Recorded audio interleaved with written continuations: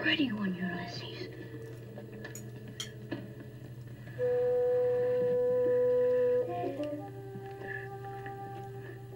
There it is. Hello BookTube, I'm Shawn the Book Maniac. Welcome back to my channel.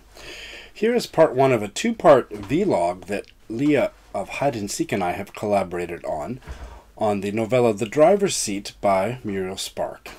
We had some scheduling problems, but I don't think that that will be obvious in the vlog that we are going to show you. But I got sick, so we postponed it a couple days, and then because of the postponement, Lia had other social commitments. So we read it on a kind of a staggered schedule, and we've kind of tried to cobble it together.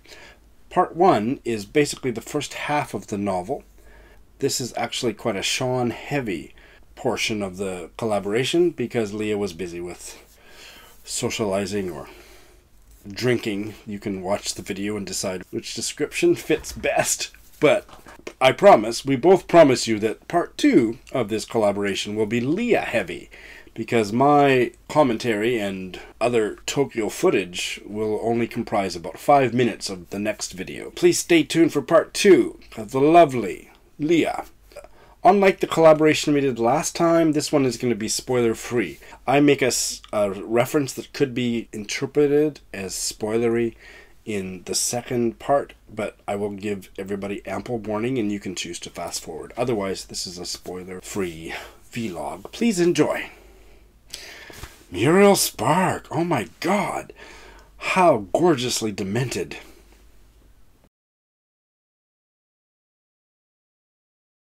Good morning, Lia. Here I am on day one of our three day Muriel Spark, the driver's seat buddy read. I'm so stoked, especially now that I'm feeling better. We delayed it uh, for a few days because I had a sore throat, but I'm on the mend. Got some medicine working through my system, and I'm going to take you to work with me this morning. I'm off to teach uh, two hours of classes to a group of lovely seniors, Japanese senior ladies. They're a lot of fun. The, the class is in Shimokitazawa, which is not only the trendiest area in Tokyo, it's so trendy I can't believe they actually let me enter. Uh, but uh, some magazine, if I can find the link, I'll put it in. The trendiest district, the trendiest neighborhood in the world.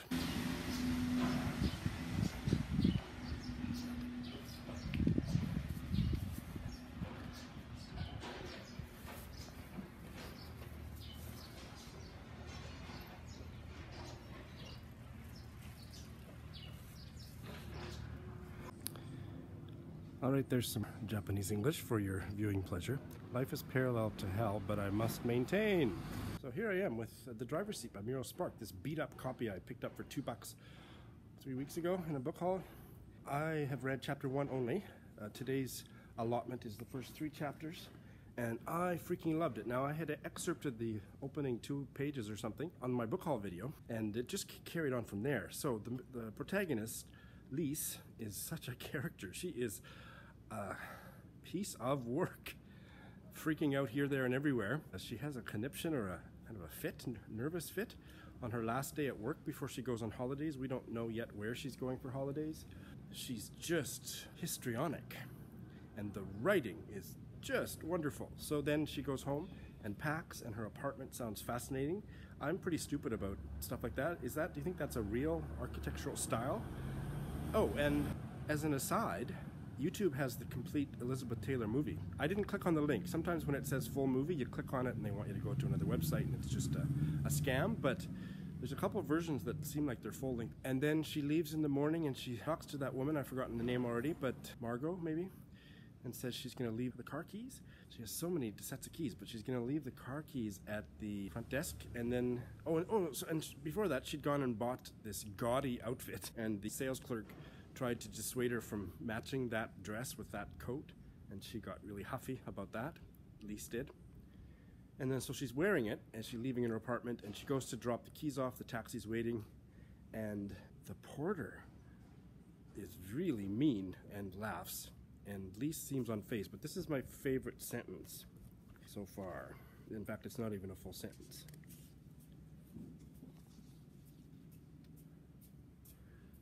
Porter lady gives out the high, hacking, cough-like ancestral laugh of the streets, holding her breasts in her hands to spare them the shake-up. Oh my god, that's just wonderful. So I'm really enjoying it. That's all. Those are my very preliminary thoughts on chapter one. I'm curious about why is she leaving the car keys for this woman, and so what's going on and what happened. Something is alluded to that she'd had troubles at work before. So what's that about? Anyway, very curious about almost everything. 여러분도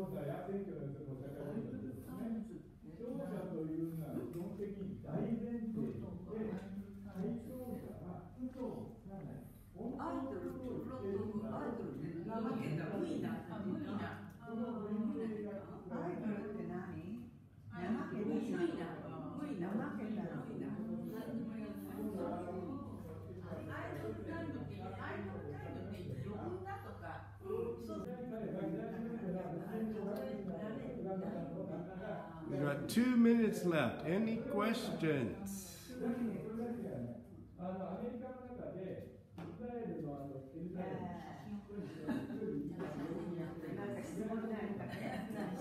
No questions?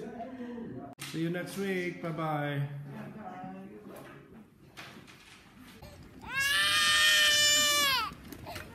Okay, Lia, here I am after finishing teaching class, and you can still hear that poor baby sobbing in the background. And you can see maybe a few trendy people walk by. This is the trendy part of Shimokitazawa. And they actually see how much longer they let me stand here before they kick me out because I'm not trendy. Anyway, I finished reading chapter two, and what I'm most struck with about chapter two suddenly the narrator, the narration is so unsure of itself about what's going on for Lise, or you're pronouncing it Lees, so I'll try to switch and remember Lees. Like, if you look at that first paragraph, she might be, she seems, she could be.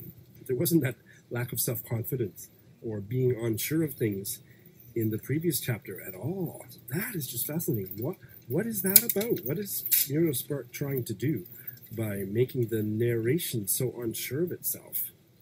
Now, Lise is starting to sound like a psycho, or a certainly very screwed up person.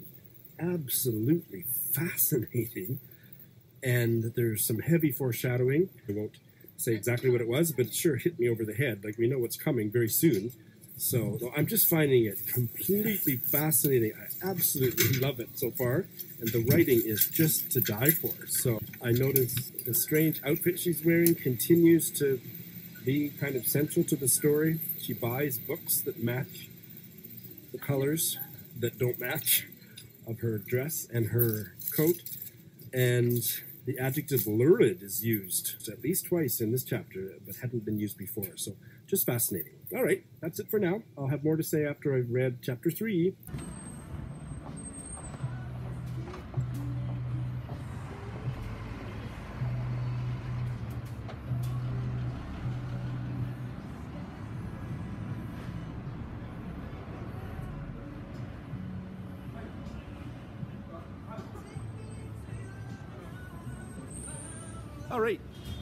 Am at near Nakano Station, and this is a little uh, side street full of bars and stuff. I've only gone drinking here maybe twice, and I don't remember all these cool lights and fake flowers. Or I don't know, maybe they're real. And benches, that's all new. Uh, very trendy, or oshare as they say in Japan. Anyway, I have now finished chapter three, and I'm off to teach here at Nakano Station for the next three hours. So I thought I'd quickly wrap up the day's vlog. Nice Japanese song playing on the speakers, eh? oh my god! This is a freaky novel. Talk about foreshadowing at the beginning of chapter 3, hey? That airport and especially that airplane ride. That was just freaking bizarre. Now, in lesser hands, I think that I would have started to wonder whether Lisa's character was in fact not coherent, but in Muriel Sparks' hands, it's just that she is so unstable and her personality changes every two minutes. Just fascinating, and her she was drawn to the businessman, and then anyway, I'm not going to regurgitate the whole chapter, which is what I did earlier today, and that was kind of overkill. It's utterly fascinating the mundanity of getting your seatbelt mixed up with the guy next to you, and it to have such an ominous tone to it. We know what's coming, right? It's been foreshadowed a million times, but I'm just so engrossed in driver's seat and can't wait for tomorrow. Now, another one quirky little thing I noticed was when Bill, the microbiotic freak, was explaining yin and yang to her. Did you notice, or is it the same in your edition? Yin and yang are both capitalized, but when she repeats the phrase to him, it's lowercase. Now that was fascinating. Hey, good morning, Lia. Here I am on day two of our buddy read, and uh, I just snuck out now because it's supposed to rain all day and it's already started spitting a little bit so let's see if I can get through this. It'll force me to be uncharacteristically brief. I've just read half of the chapter 4 this morning. I'll finish it up easily uh, today but just some comments because this is probably the only outdoor filming I'm going to be able to do, which is so disappointing. I have the whole day off. I wanted to film about three or four booktube videos outside, but no such luck. I may not, not even be able to finish this little chat. Good lord. So again, the narrative uncertainty, it's not really dipping into Lise and seems very uncertain of every, every observation it makes of her.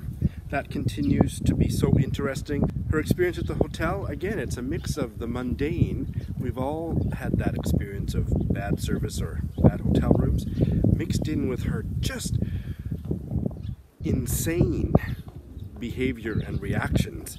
I'm sympathizing with her one moment, and in the next sentence, I think she's just absolutely off her rocker. If Muriel Spark is trying to say something about identity, I think the passport is a important symbol. Don't need a master's degree in English to to make such an observation, right? But the hotel takes it from her and they don't give it back right away. She demands it back. And then what she does with it in the taxi, again, I'm kind I guess I'm keeping this a little bit spoiler free, so I won't say exactly what she does with it, but it's like, what? And she picks up that old lady at the taxi stand and they go off and that's kind of where I'm at. And the old lady thinks that what she's done with the ta- with the passport in the taxi is crazy because she said I left my passport in the hotel. And Lise says, "It's according to your taste." This is just wild. I'm having so much fun. All right, that's it for now.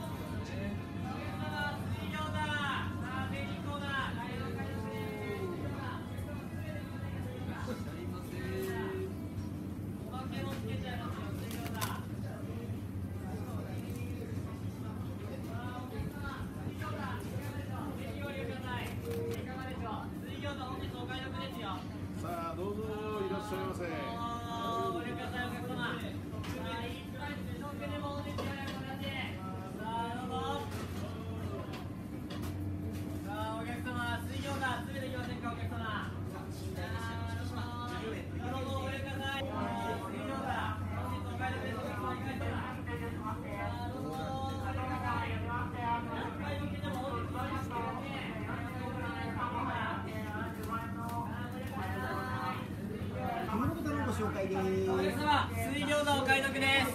さあお客様水餃子。国産豚肉使用水餃子「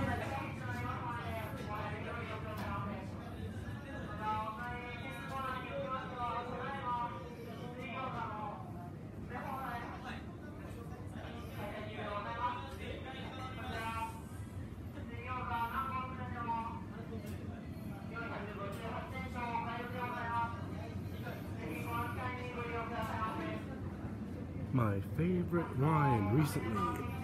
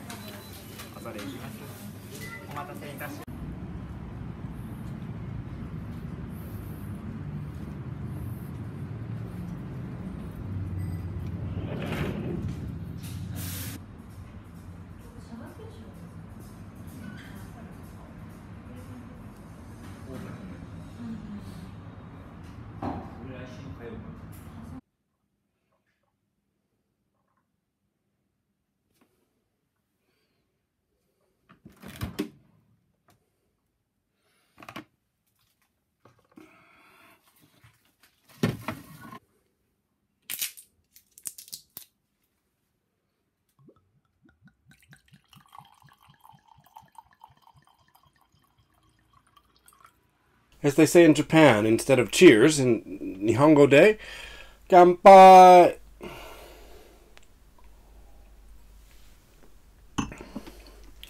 So I have finished chapter four, and what a wild ride that was. So what? I don't know how is this going to end. I mean, we know what happens, but I'm not losing faith in it by any means. But will I feel satisfied by the end? Anyway, it's just riveting. So the first thing that made me exclaim, oh, by the way, Lia, I have, for the first time in years, I have started underlining and making notes. I, had, I hadn't done that for a couple years, so thanks to you. So the first thing that struck me in the second half of chapter four was Lise is, and she'd done this before. She bought that paperback to match her gaudy outfit, and since she holds it up. She and the old lady are in the department store, and at a certain point in the records section, she holds her paperback well in evidence, her handbag and the new zipper bag slung over her left arm just above the wrist, and her hands holding up the book in front of her chest like an identification notice carried by a displaced person. And she had done something bizarre like that before. I don't remember it as well, but maybe you do. What's that about? So it's like, is there a connection between the book as a sense of her identity and the passport, which we all know what happened with her passport. Who knows what's going to happen with it in the future? And then in the very next paragraph, she'd been listening to some hippies, listening to music in the record department, and this girl with long brown hair. This is just a stunning sentence. A girl with long brown pigtails is hopping about in front of Lise, continuing the rhythm with her elbows, her blue jeans, and apparently her mind, as a newly beheaded chicken continues for a brief time, now squawklessly, its panic career. I actually don't know what that last clause means, but it's so beautiful. Its panic career. What does that mean? But fascinating. The pretty much the second half of this chapter is in the department store. And it's just so weird. The bathroom scene in the cubicle what kind of gift Mrs. Fiedke is going to get for her nephew, and all this cruising that Lise is doing for her man, and how confused Mrs. Fiedke is about that. And then at the end, again, an echo of one of the early chapters, an echo of when Lise left her apartment to go on this weird trip, and the concierge or the porter had laughed so raucously at her. Once they leave the department store, Lise and Mrs. Fiedke, and they're out on the street, and this stranger, this woman says, Dressed for the carnival, says a woman, looking grossly at Lise as she passes, and laughing as she goes her way, laughing without possibility of restraint, like a stream bound to descend whatever slope lies before it. That just chilled me. What is it about mockery? What is what is what what's going on in this novel? It's ah, riveting. I didn't say fantastic once this today, so that's all I got for now. Looking forward to finishing it up tomorrow. Oh my God, when life gets in the way and you just can't read. I'd like to say it was all fun, and it was all fun. It was so good. I've just had the best week catching up with old friends and dear friends and family, and it's just been amazing. Now I need to detox my liver because I personally have been on quality assurance for all the champagne here in Australia of late. But it has been wonderful. So, Shawn, I apologise with my whole heart that I haven't been able to participate like I should in this buddy read. Oh, my word. Now, the thing is, I've read other books, and it's only because I didn't want to read this because I didn't have time to sit and digest and do this video. I'm halfway through, I have about 30 pages to go. I am loving it. Now, you bailed on Eleanor Oliphant is completely fine, and I'm finding many parallels here. And I mean that in the aspect of I think this is what Eleanor Oliphant wanted to be. Like Eleanor, Lisa is quite a cantankerous, stubborn, awkward person. Yet with Muriel Spark and the driver's seat, you feel as though that awkwardness, that not fitting in, that brashness is serving a purpose. What is she hiding? What is she trying to achieve? I loved the way Muriel Spark planted each and every character into their social structure through their use of language. How Eleanor spoke one way, how the shop girl spoke another way, how the concierge spoke another way, and their turns of phrase and their choice of language really pitted each person within their social structure, and I found that to be wonderful. What I'm finding to be amazing is how modern this book feels. For a book that's almost 50 years old, it doesn't feel dated like, say, Valley of the Dolls, Jacqueline Susann, who was which was written at approximately the same time. And today it is like a time capsule of a bygone era. Whereas this reads more of, say, an historical fiction book set in the 70s but written in the last couple of years. I'm finding the time walk to be wonderful. The sensation on the plane was great. Imagine choosing your own seat. Wow, I just found that to be a real time capsule of a piece in this book. I'm loving where this is going. What is going on? The momentum is driving me to keep reading. Yet I had to stop last night at page 60 because I didn't want to not be able to film this video this morning. And if I knew, if I read the whole thing, I wouldn't know where we were going. But really, this is wonderful. I'm sorry I'm falling behind and being hopeless with this buddy read, but please stick with me. I will finish tomorrow and have my final video then. But amazing book, and I'm just gushing like a teenage girl. Have a fabulous day.